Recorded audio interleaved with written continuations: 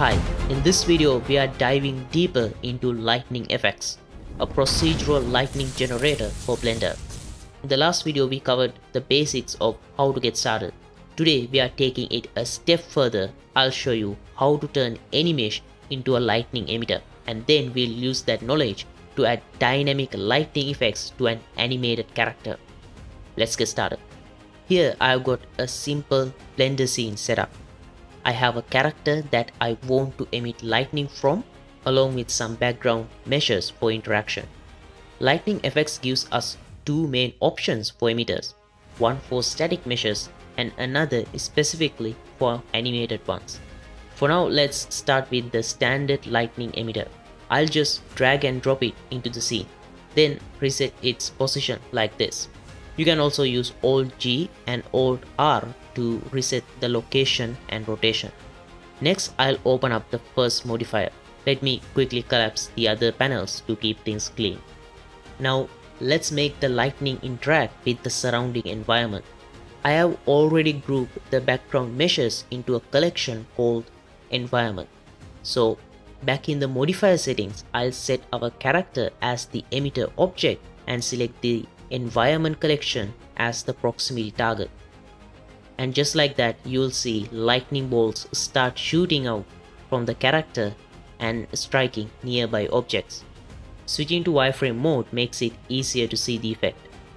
And when I hit play, you'll notice the lightning continues to interact with the environment.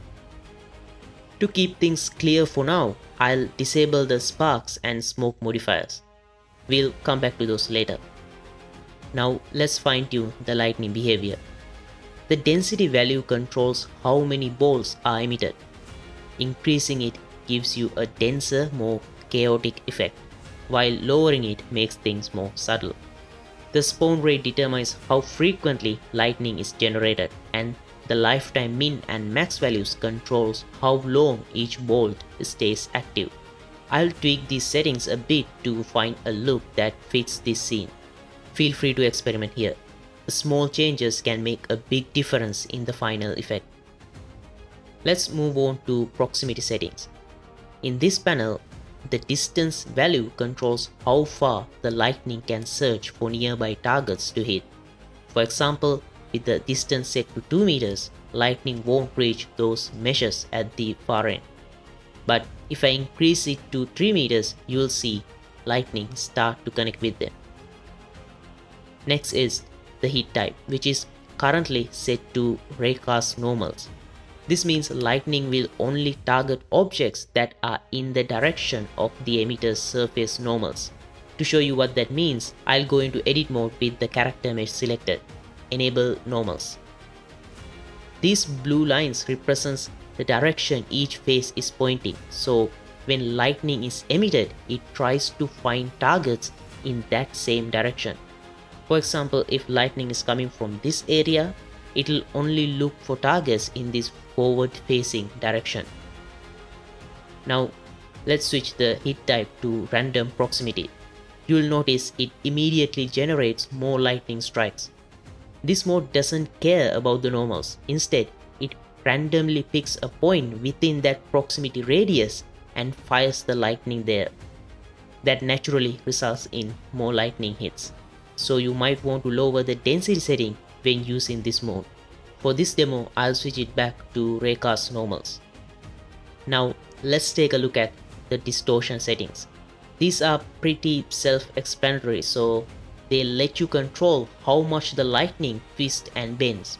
You can play with scale and strength to get the look you want. But an important option here is computation type it's currently set to sim computed which means the lightning's distortion and targeting are calculated inside the simulation. That also means if you tweak any values, you will need to refresh or replay the animation to see the changes. Here you can adjust that noise strength. If you switch to independent computation, the targeting still happens in the simulation but the distortion is applied afterward. This allows for real-time updates in the viewport.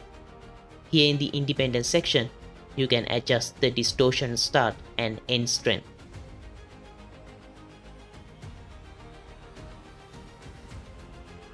And here you have the option to control how distortion fades along the lightning's curve. Inverted U and inverted V apply distortion more to the middle of the lightning while keeping the start and end points more stable. S-curve adds more distortion along the length, but it can break the connection to the target, making the lightning look more chaotic. And constant applies distortion evenly across the entire curve, so it's completely freeform and no longer anchored to the emitter or the target. Now I want to bring your attention back to density setting. If you look closely, there's a small icon next to density value that you won't see on other parameters. This lets you toggle between using a constant value and using an attribute input. Clicking this icon switches it to attribute mode. And by default it says density. You can rename it to anything you want. At the moment you'll notice lightning is emitting from all over the character, including the head, which isn't what I want. I want to exclude the head from emitting lightnings. To control exactly where the lightning emits from, we can use a vertex group. This allows us to mask out specific areas of the mesh. So I'll select the character, enable overlays and go to the vertex group panel. Create a new vertex group. I'll call it density to match the attribute name we are using in the modifier. Next switch to weight paint mode. From the side view, I'll use the gradient tool and paint it up from here.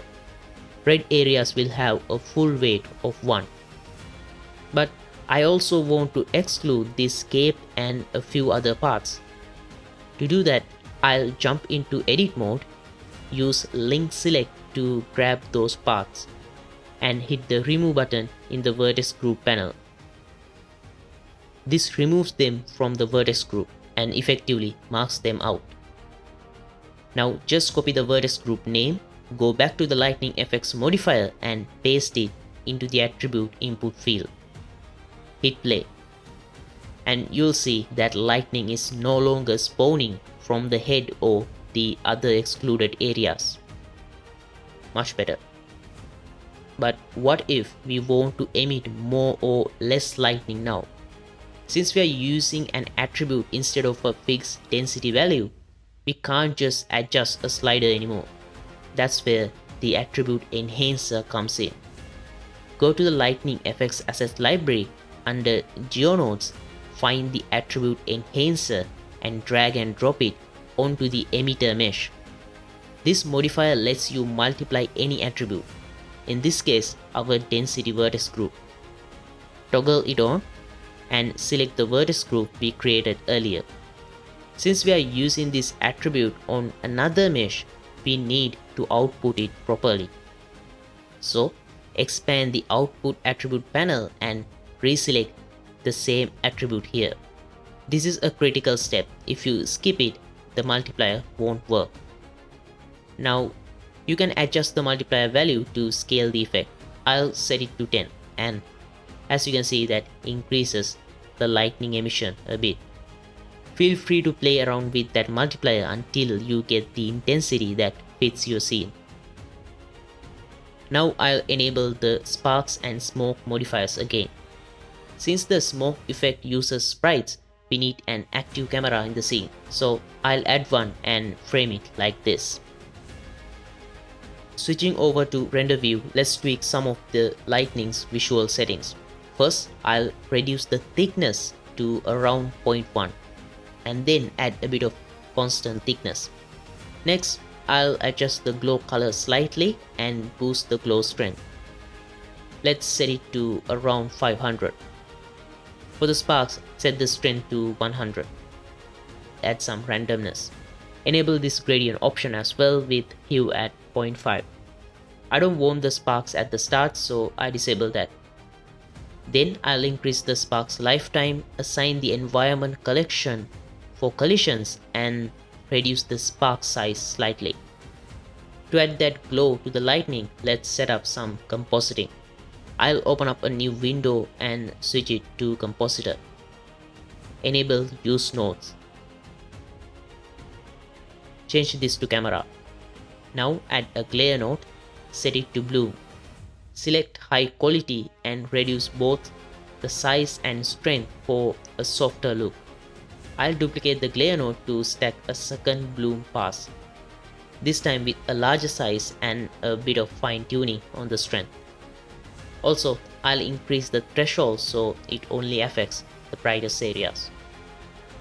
And that's how you set up the lightning emitter effect using Lightning FXs. Now, let's move on to how we can apply all of this to an animated character. Here, I have a new Blender project with a similar setup. But this time, our character mesh has a bit of animation. I have already created the density vertex group and set up the compositing nodes, just like before. To add the lightning effects to the animated mesh, I'll drag and drop this lightning emitter animated template. You will recognize it by this little running person icon. Reset the location. Most of the settings here are the same as with the static emitter. I'll assign the character mesh as the emitter and select the environment collection for proximity hits. For the density input, I'll switch it to attribute mode and choose the vertex group we created earlier. And as you can see, the effect is already working nicely with the animation. To keep things simple for now, I'll disable the sparks and smoke modifiers again. The effect looks fine at first, but to make it work properly with animated meshes, we need to generate a proxy mesh for the emitter. This step ensures the lightning can adapt accurately to the character's movement throughout the animation. To do that, I create some space here and open a new window. Let's switch it to the geometry nodes editor. Make sure you have the lightning modifier selected on the emitter mesh. And here you will see the full node setup that powers this effect. Don't worry, you don't need to touch most of this. Just zoom into the highlighted node labeled bake. By default, this is set to still, which is exactly what we want. Now pick a frame from the animation. I usually recommend using the first frame of your character's motion and click the bake button. That's it. This creates approximation inside the geometry node system which helps the effect stay consistent with the character's animated movement. Once that's done, everything else works just like I showed you earlier with the static mesh. Let's also tweak the density for this animated character. I'll grab the attribute enhancer from the Lightning FXs assets library and drag it onto the character mesh.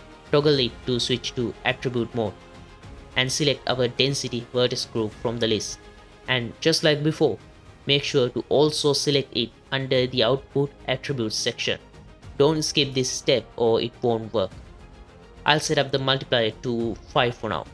Actually, let's take it a step further and animate this multiplier over time so the lightning emission gradually increases throughout the shot. At the beginning of the animation, I'll set the multiplier to 3 and insert a keyframe.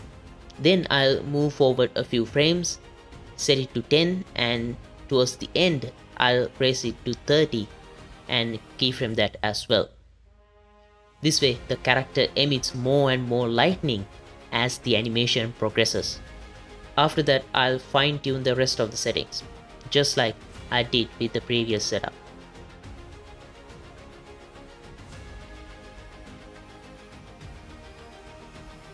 This time I am going with a red colored lightning. Once you are happy with the settings, select the lightning emitter, go to the physics tab and under the simulation nodes, click bake.